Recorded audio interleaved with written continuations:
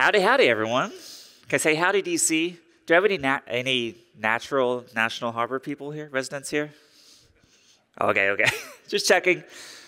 Um, anyone go on the Ferris wheel?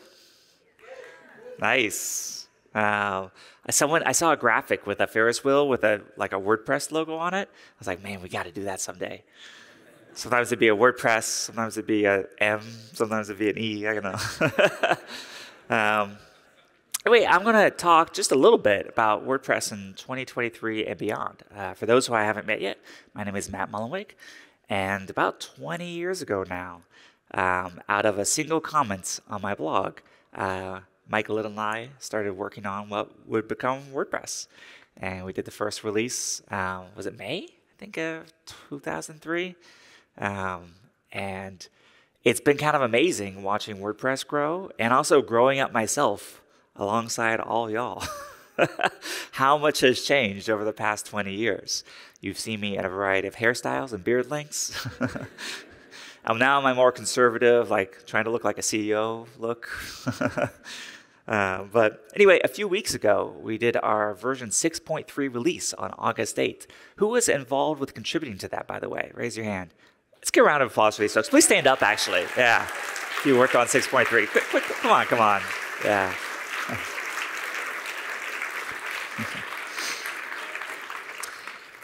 You saw a few of them, but there were actually over 640 contributors to that release. 207 of them were completely new to, to contributing to WordPress. And we did about 1,100 features, bug fixes, enhancements, performance improvements, accessibility improvements. Um, it's a lot to talk about, so uh, let's take a quick look at it. So we got a really fun video, really beautiful one. Music.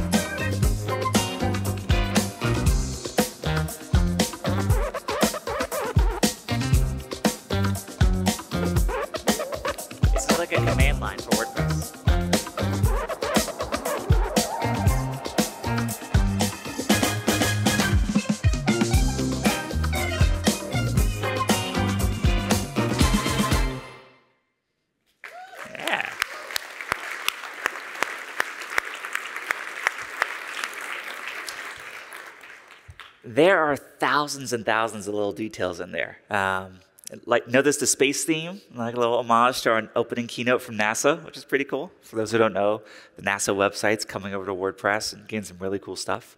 Um, my favorite is probably the command palette, which is essentially like a command line for WordPress. You do uh, Control K, Command K, right, and immediately go and like jump to any part of it. It's pretty cool.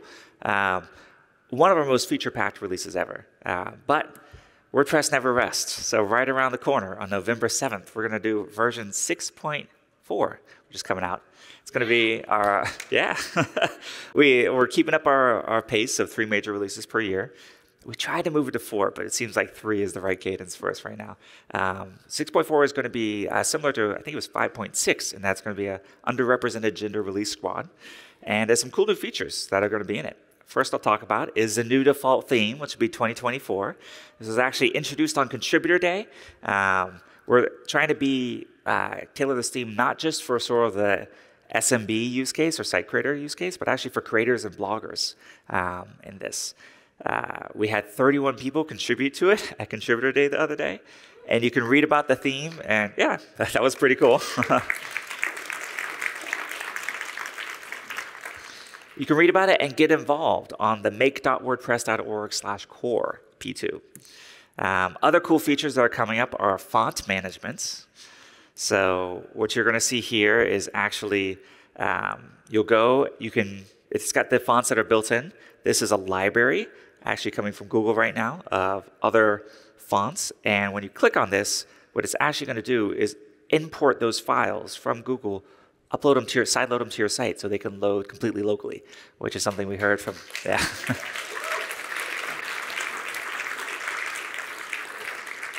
something uh, particular our European uh, WordPress community members have been big on. Um, hot linking from Google is actually like good for performance if it's already cached for other people, but then the loading on your own, like no request go to Google. So people like that. As we heard from some applause, I wasn't expecting any applause on that one. Next up, simple, but I'm really glad we're getting this in the core, which is image lightbox. Um, so for those who aren't familiar with it, a lightbox is this idea that it's, it's always never been really great in WordPress what happens when you click on an image or an attachment. And uh, what we're showing here, I think we're going to change the name because right now it's like called behaviors and that's kind of a weird thing to call it. But uh, basically, what what will happen is like now on the front end, uh, when you click on an image, it'll kind of go full screen and zoom, and then you can navigate with keyboards. It works great and beautiful on mobile, and you can also zoom in further on that. Ta-da! Simple, but you've needed plugins for this forever. and so having like a super lightweight implementation in core is uh, pretty exciting. So that's two of the features we want to talk about. The rest is being defined. So if you want to be part of defining what's in 6.4, uh, please get involved. You can go to make.wordpress.org slash core and uh, join our WordPress.org Slack. You know, we've got different channels for different interests in WordPress, including one that I'm about to announce a little bit later, a new one. Um, but anyway, so with the end of 6.3, we are coming to the essentially like not finish line, but I'll call it checkbox for uh, the second phase of Gutenberg. For those who don't remember, when we first announced Gutenberg many, many years ago, we said there's going to be four phases of its development. The first is focusing on the editor itself. So taking our old classic document-based editor um, which was really hard to like align images and move embeds around. You had to use short codes to like do a lot of different richer functionality and moved out all the blocks. Um, so that was phase one. Phase two, which we call customization, is making it so yeah, those blocks were usable not just inside a post or a page, but you could actually modify the entire site. And that's you're seeing a lot of new block themes, everything we just saw in that video. You know, you're able to do things now by just clicking and moving things around that in prior years you would have needed to know CSS or hire a developer or something like that. And that's part of our mission to democratize publishing. WordPress is kind of like the original no-code tool, right? Uh, before we're like, I mean, literally when I first started uh, blogging, like we, I'd like upload files and modify a file and upload it and move things around. And then like the first CMS has automated a lot of that. Um, it's all part of this kind of like efficient curve where things that used to be hard um, what technology is beautiful at doing is you know making it more accessible to a larger and larger audience. Uh, phase three is now what we're heading into, which is actually the phase uh, I think I've been saying is the one that I'm most excited about because it's all about collaboration. So imagine this now taking WordPress and editing something from being single player to multiplayer. So what you're seeing on the screen here, it's looping, is those two, the little purple and the green, you might not be able to tell, but those actually have names underneath. I actually can't see what the names are. but that's basically two people editing the same post at the same time. Who's ever overridden someone else? That's what. you know, thank goodness for revisions. But now you'll be able to, whether it's sharing a draft with someone and getting feedback on it, whether it's you know collaborating on designing something together. Uh, maybe if you're like a, an agency or developer, you can invite a client into it directly, get on the phone with them and talk through it as you move things around. Like it's so, so powerful what you'll be able to do with this. And again, like I said, moving WordPress from being kind of a single player to a multiplayer tool. Um, of course, anything that builds on top of Gutenberg, which you know all the best page builders and everyone is doing now, will get all these features for free as we start to build them in the core.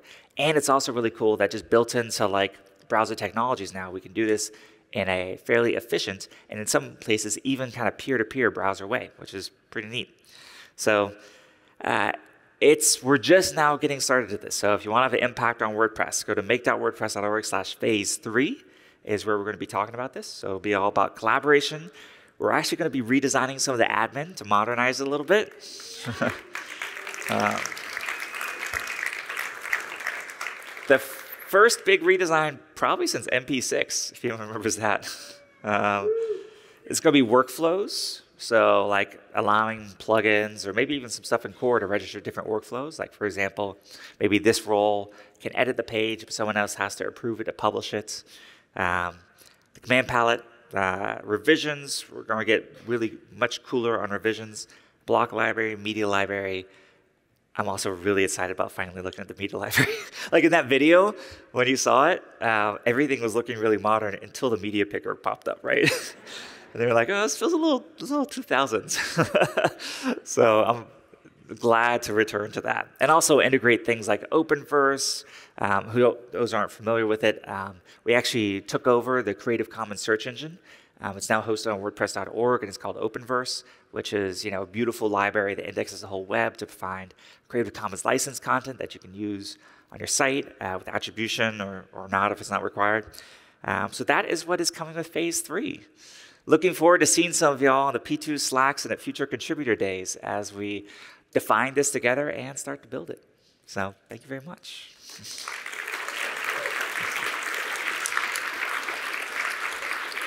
I have one of these. Um, got just kind of two final things I wanted to end with. Uh, oh, that was loud. Thank you, Taika. Um, one really cool thing happened uh, the other day here at WordCamp US, and I want to tell a story about it. Which um, one thing that makes not just open source, but I think particularly the WordPress community really powerful is how people come together.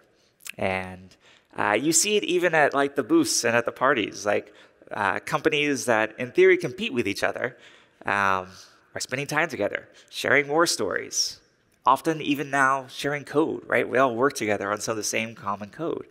And it's kind of a beautiful example of what I think I was really originally inspired by open source and I've done my best to try to bring into the world and simplify with my own companies. It's this idea of sort of like a positive sum capitalism where we can all win together and find areas to work together because we all have so much more in common than we have uh, difference.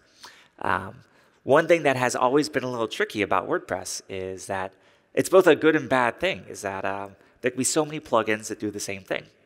Um, I say good and bad because that's great because it allows innovation that can happen. You kind of get almost like a, an evolutionary, uh, like uh, natural selection. some plugins thrive over the long term, some kind of fade away. Um, they inspire each other. Good competition actually makes everyone better. Um, bad sometimes in that as a WordPress user, like if you go one plugin, you might be kind of locked in to it. There might not be interop. This was a big part of the inspiration for creating Gutenberg because we were seeing a lot of innovation from different kind of page builders and other things. But I started to hear from plugins like SEO plugins that said, "Hey, we're having to like rewrite our plugin to integrate like with 10 different builders. Like, can you create some standards in core, something that we can all agree on, which became Gutenberg and blocks that everyone can just build on top of. And then like the data models, everything are the same. So what happens, um, we're calling this WordPress LMS. Who's familiar with what an LMS stands for? It's a, oh, a lot of people actually. More people that, than knew our democratized publishing mission. for those who don't know, an LMS is a, stands for a learning management system.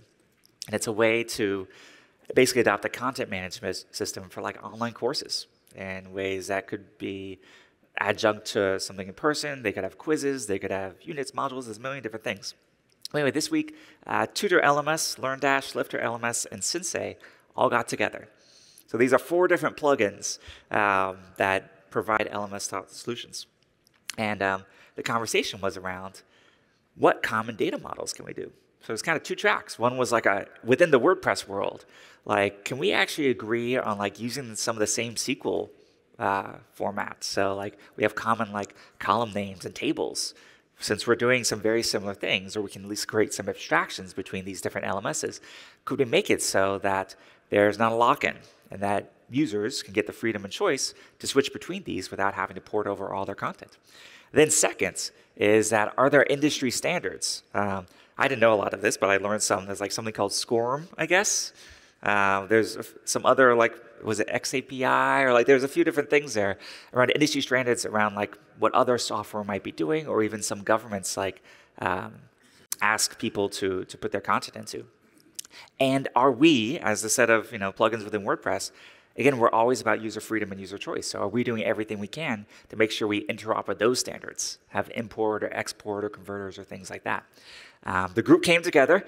Uh, we decided to kick it off with a Slack channel. So there's now hashtag LMS in the WordPress.org Slack. um,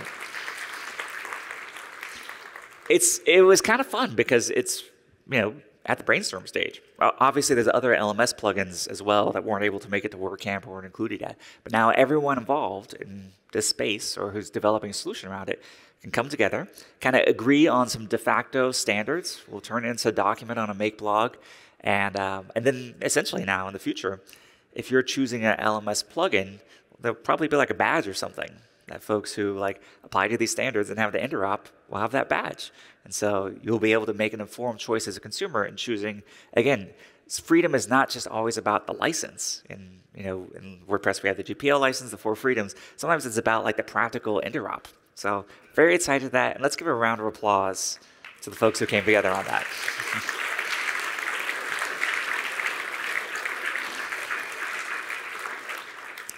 and I'd be lying if I tell you it didn't get me thinking about like how can we get this kind of interop in our SEO plugins and the builder plugins and probably a, bunch of areas y'all are familiar with that I don't even know about.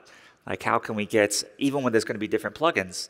You know, we definitely want canonical plugins for some areas, and we're going to do a lot more of that.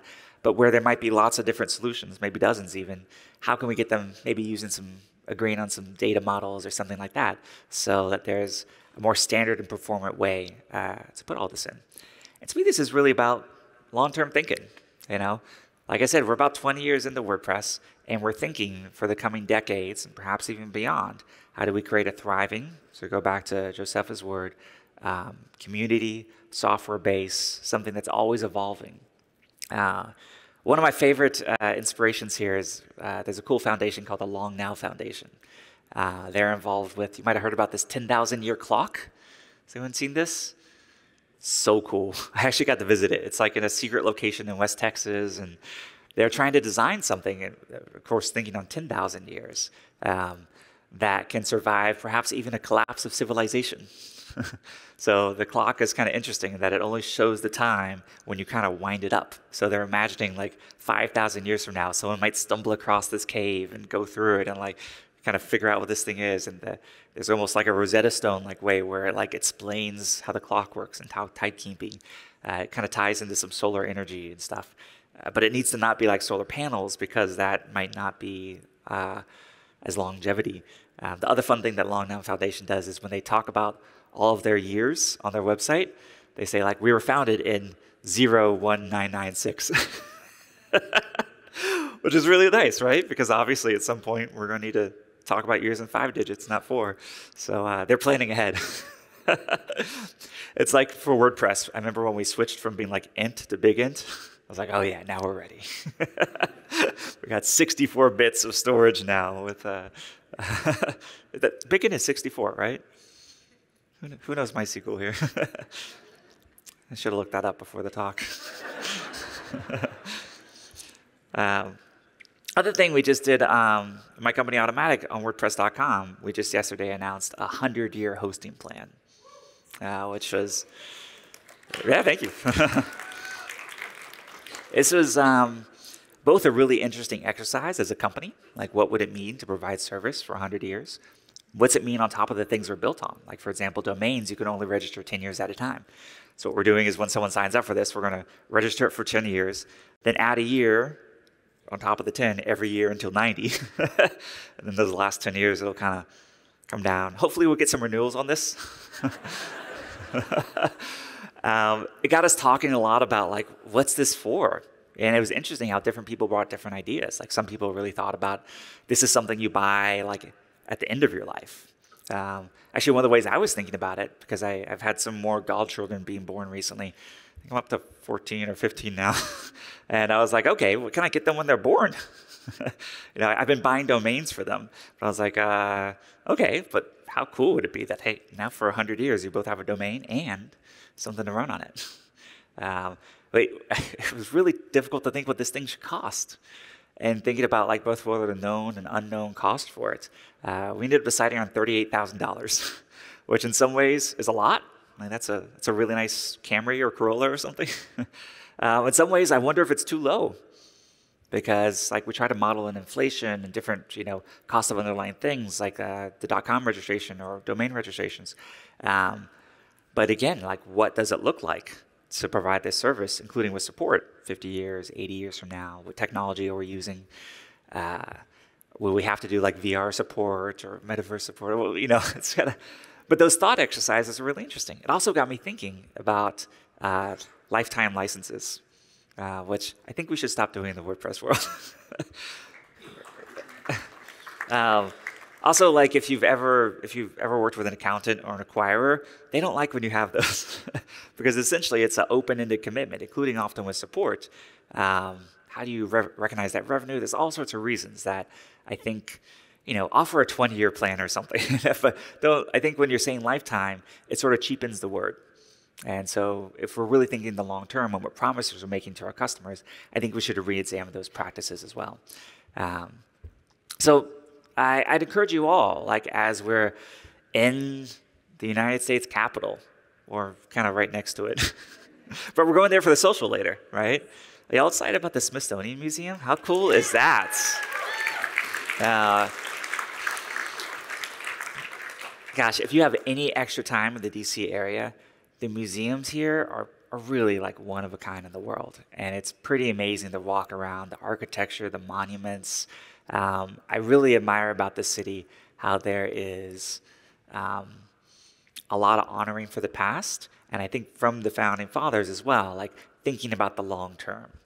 You know, As I'll butcher another quote from some presidents like, "Democracy, it's yours if you choose to treat it well, choose to keep it." What, what was that quote? I forget it. Best system as long as you can keep it. Um, there's there's all these sorts of things that um, kind of show also like the need for iteration, the need to be able to patch things like the Constitution. and you have to get two thirds committers from the states, right? That's a lot of LGTM, right?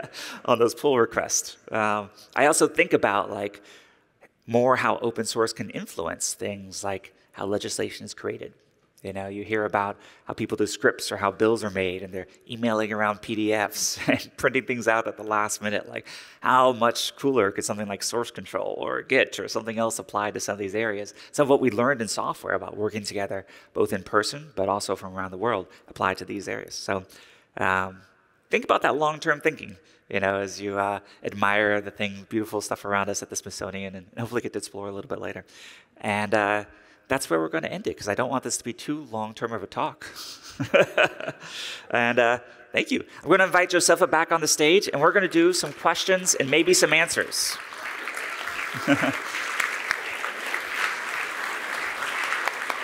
Great job. Come join me in my office. I also have no idea how the Slido thing is going to work. And this is an experiment. It's much like being at this venue is an experiment, one we might not continue. Yes. um, but okay, we've got the slide. Yeah, this is actually not the slide. This is oh. something else. Um, we can't see that thingy where we see all the questions. And so this is here so we can see it. Oh, cool. Sorry, I'm just doing housekeeping while you all are watching. Um, yes, so you can scan this QR code or go to slido.com and put in that number with the hash slash pound or no? Anyone?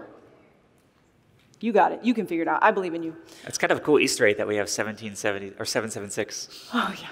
Um, oh, it is 1776, yeah. um, and I think you you can also vote on the questions. So part of what we were trying to do with this was allow people, like whatever. So this is now, I won't feel bad if you all look at your phones right now. Let's see how good this Wi Fi is.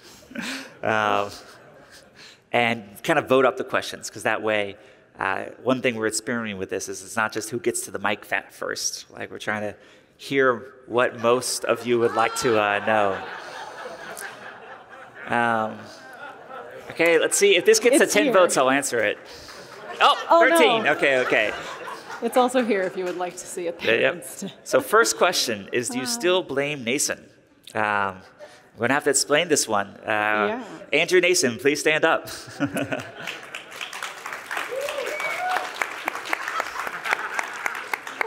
Should I blame you for this question? um, this is uh, this is a fun double entendre as well because uh, I don't know. Does Git have the same command? But in SVN, you could write SVN blame and see who's responsible or the last person who committed a particular line of code. and it's kind of fun to see, like, oh, where'd this function come from? And the most humbling thing as a developer is when you do that and it's your own name that shows up. who wrote this? Oh, me. um, I still have a number of lines in the WordPress code base as well, which is both uh, exciting and a little scary. Um, but uh, we no longer blame Nacin for things. And in fact, I would generally annou- like to announce a jubilee of blame. I, I've just heard a few in some conversations or something like, oh, I heard you don't like this company, or heard WordPress doesn't like this or that. And um, I would just like officially for 2023 to reset all of that to neutral. so if you think I like something or don't like something, let's reset that to zero and just build from scratch because, you know, we're not going to make it another 20 years. We're carrying around a lot of baggage, right? So, This is one of my favorite uses of the word jubilee, and most of the time no one knows what I'm talking about. So maybe it's just me and you on this stage that know what we're talking about. uh, yeah, so look it up. uh, should we go by like top voted one, or how do you want to do this? However you want to choose. You want to take this top one? The what is the greatest existential threat to WordPress? Sure. Or actually, any of these four you want to do. Okay. Um, I can take what is the greatest existential threat to WordPress. Um, so, uh, sorry, I'm trying to figure out which hat to have on. Do I have my admin operations hat? Uh, or do I have my WordPress community hat? Okay, so here's the thing the greatest threat to WordPress as a community is always um, whether or not we can still get together and collaborate in, um, in an effective way. Uh, because so much of our community is built on the way we get together and the way we collaborate. I really loved at the community summit how we saw people talking through really contentious conversations and still like respecting one another as people for the most part. And and really like trying to address the root issue as opposed to resorting to just kind of general um, ad hoc sort of attacks on each other. And the way that we're coming back together um, post COVID and the way that um, we are kind of looking at the future of our event series. The event series does so much work on behalf of this project. I've said it a couple of times. There's a podcast somewhere if someone wants to like share it so other people know what I'm talking about. But it does like 17 different jobs on its own, these event series. It brings people into the project and it teaches them how to use WordPress. It teaches them how to work with each other, how to work remotely, how to work online. Like it, it does so many things.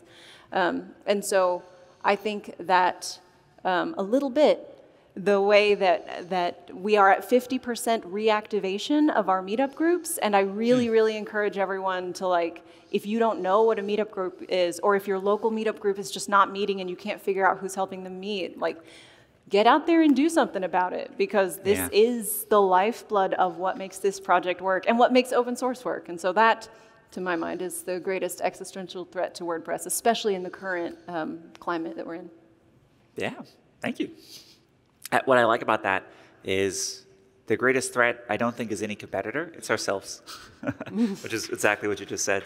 Yeah. Um, I'll jump to a, a little easier one that we could go quickly. A book you enjoyed recently. Um, I'll name two. Uh, Ken Liu's Paper Menagerie, one of my favorites all time. He was the speaker this morning. If you weren't here, uh, which I can tell a lot of you weren't, uh, check out that uh, video as soon as it's up. And of course, you can always cheat by going to live stream and rewinding. um, really special talk. And um, a more recent one, and actually, I, I thought about him here as a speaker. Maybe we'll do it at a Future WordCamp. Is uh, Will Guidara, I think his name is he pronounced, called Unreasonable Hospitality. And uh, the reason I thought that could be interesting to bring in to the WordPress community is just like we all do service to our customers, to our clients, to each other, to, mm. to the WordPress users. Like, and it's a book about. Um, he's one of the sort of two people, along with uh, Daniel Humm, behind 11 Madison Park, which kind of ro- it's a story of how they rose from kind of like a brasserie in New York that not a lot of people knew about to literally being the number one restaurant in the world uh, oh. on the 50 top restaurants list. And so, and they did that not just through amazing food, but also amazing hospitality. And one of the first to really like innovate on that. And I think there's a lot of lessons to be learned for the WordPress community. Any books you want to throw in there? So I'm in the middle of a book right now. I um, have been feeling like I was missing reading, but ha- I've been in a reading rut. And so if anyone has books to recommend, I got out of my reading rut on accident. I was going through my library app and accidentally checked a book out, so I'm reading it. And it's, whoopsie, uh, it's called Eleanor Oliphant, Oliphant is Completely Fine, something? It's, ah. yeah? Yes. And um, it starts out in a, in a kind of dark place, but also talks about like the power of community and how one or two people helping someone can bring them together past things that are that they're struggling with. I'm only about 40% of the way through, but it, it is it's nice. It's mm. a, it was a nice accidental checkout of my book. mm. Cool. yeah. Uh, if you have recommendations, you can just share somehow. Yeah. Okay, number one here from Jess. What does the future of WordPress look like if search engines move from links to AI generated responses? I think about this all the time. Yeah. Um, you know, I've been spending a lot more time in San Francisco. Um, been talking to a lot of the AI companies, OpenAI, Midjourney, um, who else? Anthropic, like the, basically embedding really deeply there. Because I, again, I think it's the future. Um, I told you nine days before ChatGPT came out to really pay attention to AI. The rest of the world since that release, that was kind of the, uh, uh, what would you call that moment when everyone started paying attention to something? Like the, the break, maybe the, the Netscape zeitgeist. moment or something. The panic, the excitement. Yeah. I'm just saying words that you know. I like it. um, so, one thing that I'll say from all of those conversations is that the folks making this, um, although these initial versions do kind of like, again, like uh, if it's just giving the whole answer, there's no reason to visit the site. It's interesting to see the experiments on things like uh, Microsoft's Bard, where they're trying to do attribution a lot better. And it's very imperfect now, but I can tell you that every single one of these um, companies um, is very much thinking about both how they attribute and then maybe also how they do like micropayments or something like that. Mm. So like places where content came from uh, or creators um, and also how they can enable creators to like, you know, create more and uh, train models on your own stuff. Kind of like what uh, Ken attempted to do with the KenBot. It's way better now. and, uh, and so how that could be like a co-pilot or like an assistant editor for you or something like that um, available on demand. Um, the, uh, so I think the future of WordPress is actually more exciting than ever because the, uh, the places where you're referred to or the visit or being an authority about these things, um, something that becomes cited or maybe even directed to. Perhaps even a future of WordPress looks like where um, we're providing an API so that, uh, let's say you asked a, question, asked a question to ChatGPT, it could call out to your website to run an additional query to maybe get results for items in your store or something like that. Um, so I think there's actually going to be a lot of integrations. And I don't know if it was obvious from that 100 year thing, but I think having your own domain is really important. and uh, we should all be thinking about like what our homes on the web look, uh, look like, feel like, and also like that sort of search for differentiation. Like it was already a little bit on the social networks. I think when people are in like chat boxes all day, that's not the final interface for these things. Mm. And what's it going to look like when maybe you talk to something, but then it takes you in a browser directly to something. So maybe it's not like you're in a chat box. You're it's just like a little Siri-like icon that pops up on your desktop or something. So. Um, I think that might be one of the models. But again, I wouldn't try to predict anything in AI more than like two months in advance. And even then, you feel a little like, who knows what's going to happen. Well, too much. Yeah. Uh, let's see. When these are anonymous, I can't tell who's asking. I realize that's the point. Unless, is there someone named anonymous here? I know. So, I, hi. nice to nice to finally meet you. I've asked the accessibility standards question. Oh, okay. And what was your name? Blake. So Blake asked the accessibility standards question. We can skip to that one. How do we ensure that more Gutenberg developers are aware of accessibility standards? Um, well, talk to them. They're here. um, it's a little bit of a tricky question because it assumes they don't know about accessibility standards. and I would actually argue that they care about it quite a bit. Did you have a follow up there? Or?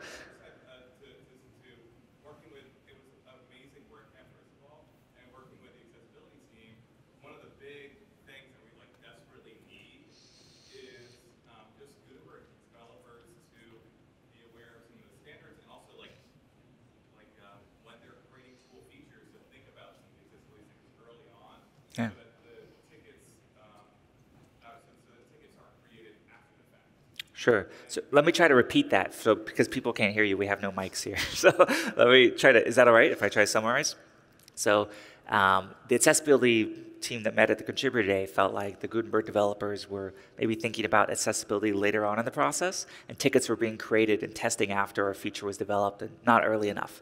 Um, I, I will say again that your question assumes that they're not doing this, so it's a little bit like, when did you stop beating your wife type question. And on behalf of the Gutenberg developers, I will say they deeply care about accessibility. They can name to you all the standards, and they're still going to mess it up.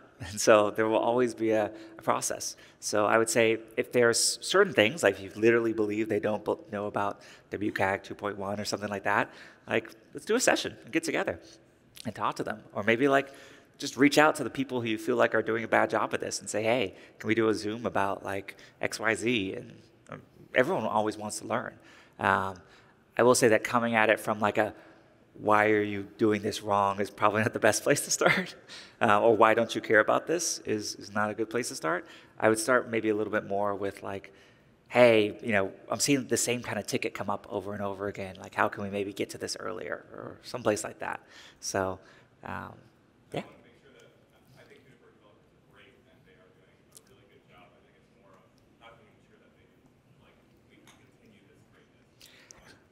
That was Gutenberg developers are great, and we just want to make sure you keep getting greater. The other thing you do is become a Gutenberg developer. Yeah. so, uh, you know, like I encourage everyone to learn JavaScript deeply. I think we're seven years into that now. and so, like, if you have a, a, background or passion for an area, whether it's design, accessibility, usability, testing, like, I'd say learn a bit of JavaScript, you can actually get involved with these things directly, which is pretty exciting. Oh, All right, next up. There are a ton. Okay. Yep. That one. Can you speak more about where you see the design of the WP admin dashboard going? Let me take this one. Yeah. Um, there are some posts out about it. There are some posts. And what, mm-hmm. will those be on Make Core? Those are on make.wordpress.org slash I believe design. Yep, that's a yes, on design. Slash design. You can mm-hmm. leave out the I believe. Correct. no, no. Uh, the for me, it's really about what I'm actually thinking about most in the admin is uh, how much knowledge it presupposes. So we have amazing documentation and tutorials and learn and everything like that, but it's always someplace else. It relies on someone clicking on the help thing or knowing to go to the documentation or something like that. And there's so many opportunities to be in line mm. with the interface. Just a few extra words um, could be really, really powerful. Or thinking about how we name things. Yes. So I had a great conversation with Rich as we were going through the slides earlier. Like, okay, you know, this is called behaviors. you know, what does that mean? a behavior is like when I think of that word, what do I think of? Like I think of maybe like a kid getting into trouble at school, or and then you go into that. It says default, no behavior, No behavior. Yep. and then lightbox. Three Each of those, like, what does that mean if you don't know what it means? Even the word lightbox is kind of a, a jargon. It's terminology. As I was going through the slide, I made sure to like try to explain what a lightbox was. So if you didn't know, you would kind of know that means like, oh, a little inline thing where you click and it pops up without going to another page. And um, so if that's what we're doing when we teach WordPress to someone, can we just say that in the original name of it? And can we put some of that inline? Um, the other place I've been thinking about this a lot that I'm excited to work on. So personally, I'm thinking a ton about media and then actually comment moderation uh, because I realized that like spam is starting to get pretty good. Yeah. I think I got my first LLM spam. Uh, maybe it was written by those spam cans in the art gallery. I don't know. Uh, but it was a really good comment that was totally contextual to my blog post and a little unusually long. it's like four paragraphs. And, um, you know, from an IP address I'd never got anything from before. I'd never got a comment from this person. And then, of course, a website that was a bit spammy. um, and so, but like, how easy would it be if I was brand new to blogging to not really realize that what this was was an automated comment that was just trying to get a backlink to the website? And so, like, what could we do to show that comment, to maybe show the reputation of the website, and to like say, maybe, hey, sometimes people leave comments just to get links. So, like, look at this with a second eye, or like, you know, see if they have a gravatar art, or something like that. Like, what's different things we could teach them? Yeah, so that particular thing, like how to get help information into the dashboard in better places for people who are in current need of help, as opposed to like trying to figure it out in a handbook, came up in the community summit quite a bit. And there were a lot of people that were very interested in helping to kind of research that, help us get that figured out. I think that's a great thing to include in that redesign. Yeah. Cool. I heard a yes. Thank you, whoever you are. So think about that as well as y'all go through the WordPress interface. Try to look at it with a beginner's mind and uh, ask yourself, or when you're teaching other people WordPress, which I hope you're doing frequently, like what words do you find yourself using or explaining things? And actually, a really cool way that anyone can contribute, right? because this kind of like what to call things and what to name things is, uh, as who said it, Simon, one of the two hard things in computer science? Naming things, caching, and off by one errors. Yes. Uh, well, like, what can we do around that? Um, so, cool. Uh, LMS question. Long-term planning is great, and the LMS improvements will be awesome. How much support can we get behind a project like the Fields API, which is making progress? Um, did anyone work on the Fields API at the contributor day? We did everything around it. I, I saw a hand and a half. Okay. So maybe that's also something, you know, WordCamp Asia is coming up. And there's also other WordCamps with contributor days. So maybe we could do like a little table on that or something. Um, I, I have to admit, I don't haven't seen the latest with Field API. So if it's making progress, I'm not aware of the latest, latest. Um, this is, you know, uh, as you might have seen, like Drupal is actually um, exploring Gutenberg.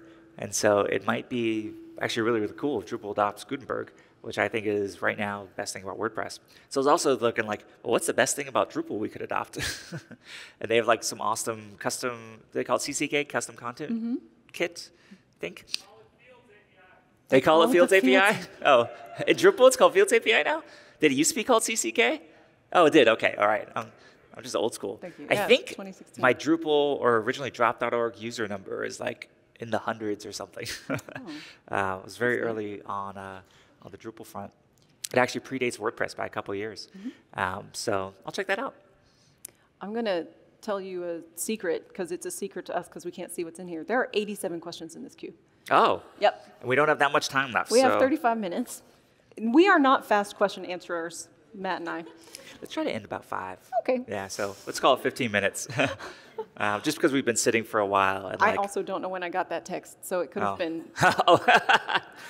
uh, We're ending at five. you want to read this top one? Sure. Advice for developers on smaller agency teams that are having trouble keeping up.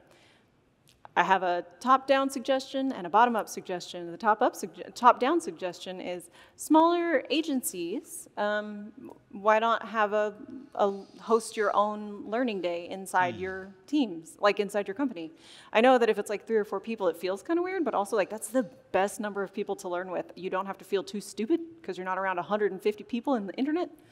Uh, and and yeah, you can learn a lot by just like puzzling through problems together. But then the, the bottom up suggestion is, yeah, go over to learn.wordpress.org. Um, that is the n- newest extension of the training team in the WordPress project, and there is a lot of stuff that is in small chunks. And so you can see like little bits as you go, um, as you need them, just like, I don't know, I, I want to call them like tidbits, morsels of education, because I think I think I'm hungry. But um, yeah, that's that's what I would suggest. I know it's hard to keep up with all of it all the time, though. Yeah. I'm going to suggest a really awesome podcast too, Oh. hosted by someone here on stage with me. Oh. Hello, everybody, and welcome to the WordPress briefing. Weekly podcast. You can subscribe to it in Pocket Cast, which is open source, or your favorite podcatcher. Yeah. And um, it's on wordpress.org slash news as well. Yep. Slash news slash podcast. And I have listened to, I believe, every single episode. Oh, wow. Um, uh, they're short, they're sweet. You get some Josepha, and it's a good way, I think, to keep up with what's going on in the WordPress uh, world. So That's true. That's true. uh, thank you, Amy, who asked that question. Next up, we have Awesome Paul. Good to differentiate from all the other Pauls, I guess. Or, I, actually, I think all the Pauls in this room are awesome. If you were starting all over with WordPress and still starting where you did, what would you do differently? Um, the number one thing I would do differently is uh, change the column name of ID in the post table. That's quite a number one. All right. um, it's it's capitalized. It's also just ID. It should be post underscore ID, which is the convention we took with naming future column names. I actually think maybe our migration stuff is good enough that we could change this now. And you know we've had the database abstraction layers for a while, but uh, man, that drives me crazy. I love a good, uh, I love a good column table structure. Still love SQL. Um, something I originally learned thanks to my sister here, Charlene. Um, she's a professional genealogist, but was doing genealogy research more than 20 years ago, so before WordPress started, and before there was really awesome stuff you could upload your genealogy files to and things. And so uh, we made a website, mullenweg.com, still up there, uh, that I was trying to post all her genealogy research. It turns out a great way to learn about relational databases is relational family trees.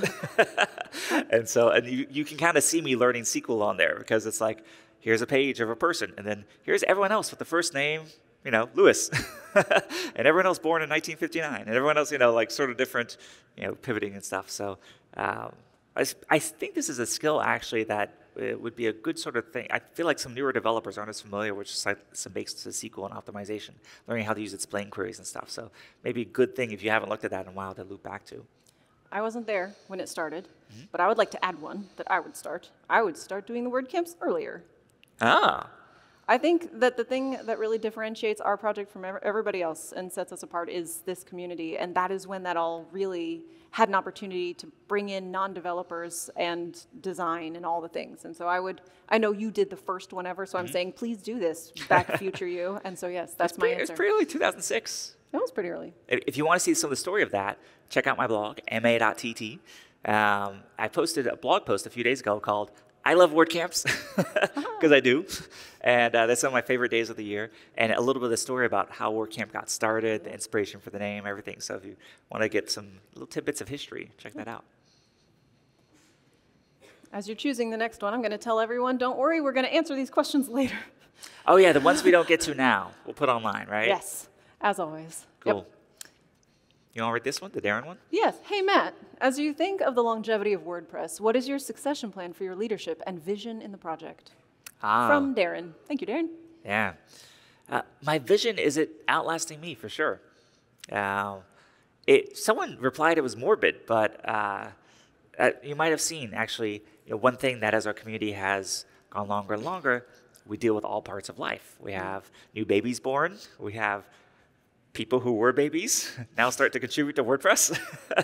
we have kids camps. Um, we also, you know, have some people who we've lost. Yes. And uh, we now have a page at wordpress.org slash remembers. So wordpress.org remembers uh, to honor those people who were part members of the community, members of people who contributed, who organized things, who were really part of this tribe of people who choose to care about the mission of WordPress. Uh, a place where we can, you know, have their name, link to their website, uh, link to their profile, tell a little bit about them. And when we posted this, I said, you know, I'm going to be on this page someday. so I was like, oh, Matt. But I actually meant it in a really positive way. And that I hope that, hopefully not soon, but that someday this page is going to far outlive me and be something that, when we designed the page, we actually thought, okay, how do we make this something that, you know, can be around for many decades to come? Uh, so uh, how I think about it is much how we approach this long-term thinking. So like what are, what's really key to, what's the magic that makes WordPress work? That's right. Um, what are structures that are really conducive to iteration? What are structures that get us kind of wound around our axle sometimes? Um, what, uh, what does good leadership look like? Uh, where do we mess it up? Sometimes when we try new things, where do we, um, where has it gone really well? And um, yeah, that's all I've got to for that for so far. Okay. Great. Another AI question for you. Do you want to do a not AI question? I... Remaining 10 minutes? we could do it.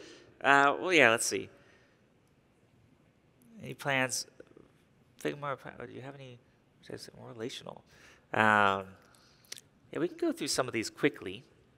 Um, any plans to utilize or create prototyping tools such as Figma or Penpot in order to get from the design tool straight to WordPress? Um, I actually think, I'm not familiar with Penpot, so this is my first time hearing about that. I'll yeah. check it out. Um, Figma is really cool.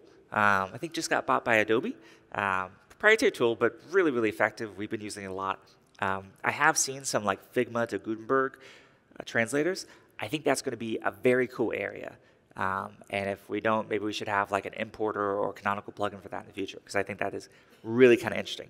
Um, I also think one thing that's really cool, particularly as we get these collaboration features in Gutenberg, is you might be able to do some of the stuff directly in Gutenberg, which would be really interesting and really cool as well.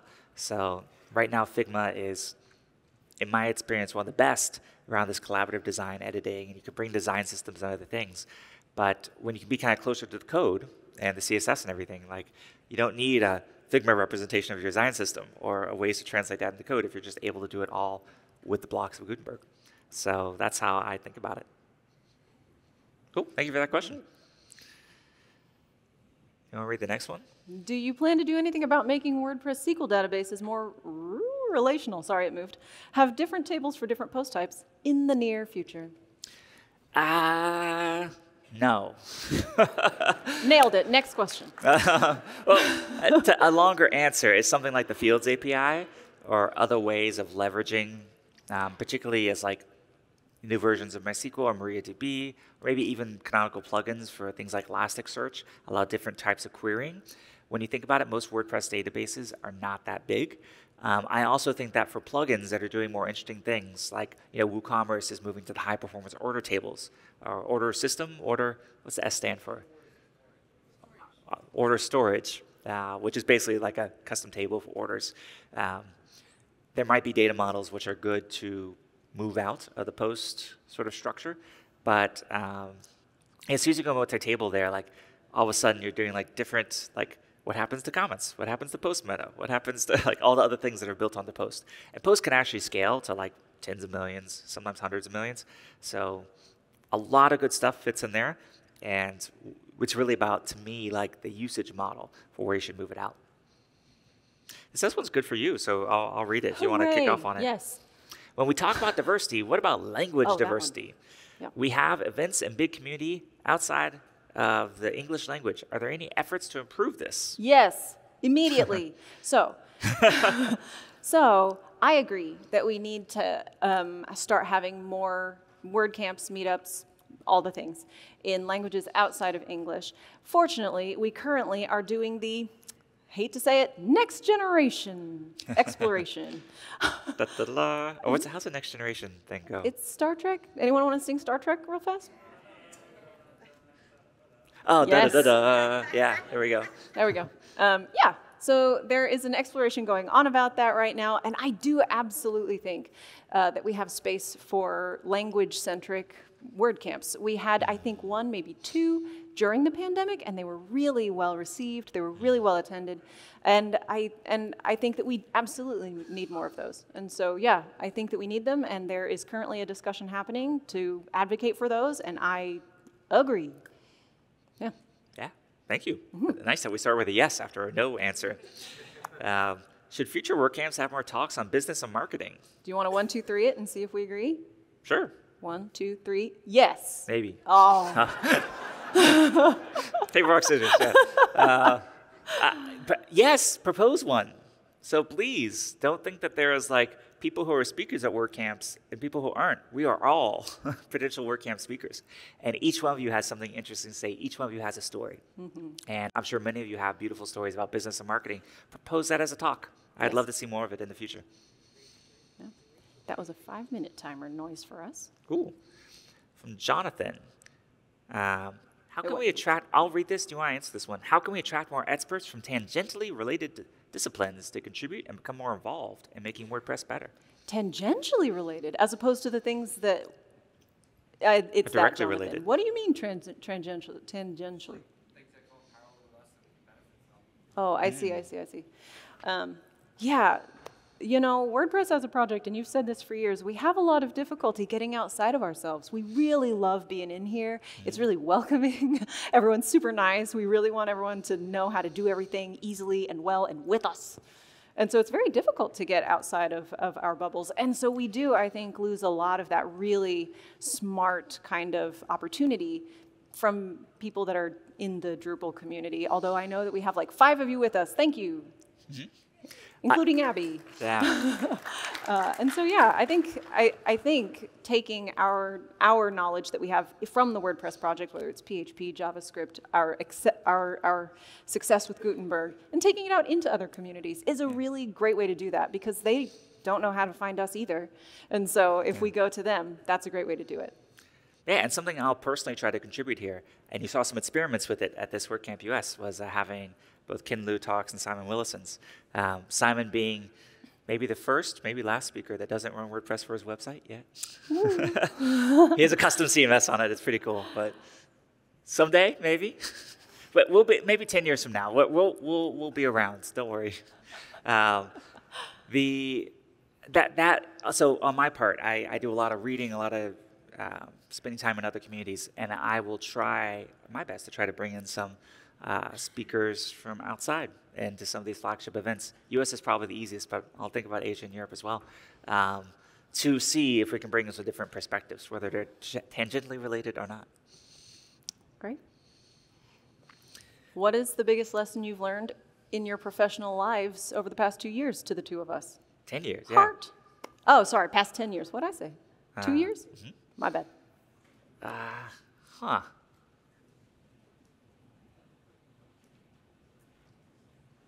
I'm going to start with an answer so you can Go think. it. Yeah. All right. Um, one of the things that did not come naturally to me when I started learning, uh, when I started leading, was learning how to to keep people with me and with the project that we were working on when we were doing things that were very hard.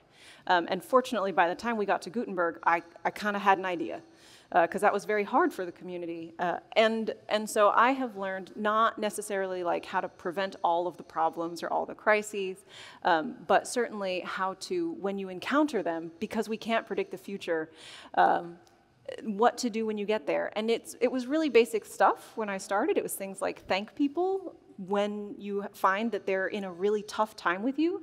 Um, when you are there helping with the tough time, like be clearly there. Like say, I'm here, I'm helping. I don't know if I can help, but I'm here to try. Um, and the third thing that was really clear to me later was that um, especially when I'm the one who created the problem, because I do that sometimes. I have really big ideas, and then I'm like, hey, developers, can we make zebras out of WordPress? And they're like, "Ye- ye- Yeah.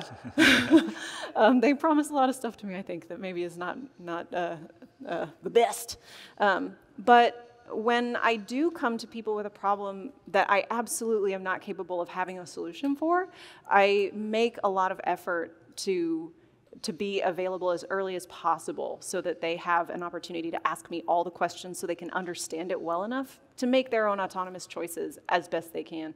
Um, and, and, you know, that's it. Like, just be clearly there and doing the thing. That's the thing that was the hardest for me to learn was how to help people through difficult times, um, and especially when I was the one creating the difficult time, because then I just felt bad about it. So, yeah. Mm. I think my answer is, is actually kind of related to that, oh. or maybe inspired by that.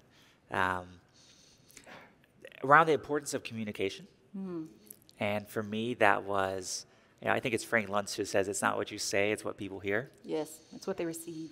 Yeah. And so the importance of like, if someone doesn't understand you, you know, the onus is on you to think about how you communicated it and go back to that. Uh, I was studying things like nonviolent communication. And also, I'll say, like, um, so much of communicating is about listening. And I've been doing a lot of work and listening in the past 10 years um, that I think has been really remunerative in terms of like, you know, understanding better what the needs of y'all, sort of having a pulse on the community a bit. Um, and I, if you haven't tried meditation, uh, recommend it. As great apps like Calm or um, uh, Waking Up, I think by Sam Harris. Like, there's a lot of really good ones. Uh, it's kind of nice because you don't actually need anything. you can read a blog post about it or a book or go to a retreat. There's a million different ways to do it. But all of them, I find, um, are great for creating that awareness that allows you to both connect with your thoughts and truly be present and listen to someone else um, in a way that's really important for communication. So, uh, yeah, maybe I'll, I'll summarize that TLDR as uh, try meditation. I think that was our last question because I think you have some thank yous and goodbyes over on that slide. Oh, awesome. Yep. All right. Well, thank you, Josepha. Thank, thank you. you all for the great questions.